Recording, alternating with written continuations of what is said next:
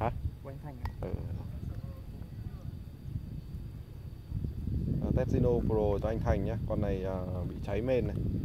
Cháy main cháy SC này. Đã thay lại một main mới và thay một à, bộ điều tốc mới này.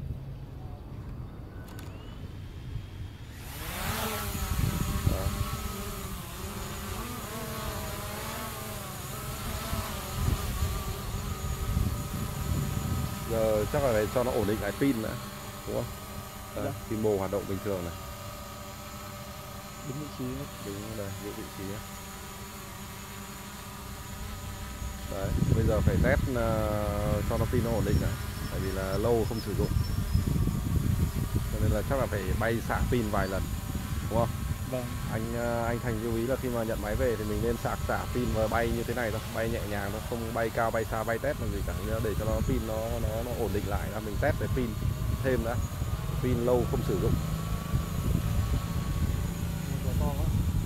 Ờ, con này cứ cứ giữ ở đây nhá. Giữ đây trong một lúc cho nó nó nó nó nó, nó sạc pin về khoảng năm ờ, sáu sáu mươi phần trăm rồi mình mình mình mình gửi.